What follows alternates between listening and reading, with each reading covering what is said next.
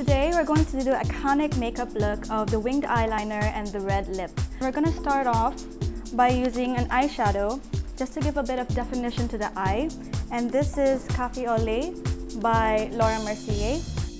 A little tip I would like to say is that you start off at the corner so you know the size and the position of the angle. The Best thing about this Tom Ford eyeliner is that it's very easy to outline it and to fill in brush, we're going to use Giorgio Armani Luminous Silk Foundation. I'm going to add a little bit of the same um, Cafe Au Lait by Laura Mercier, just to give a bit of definition from under eyes.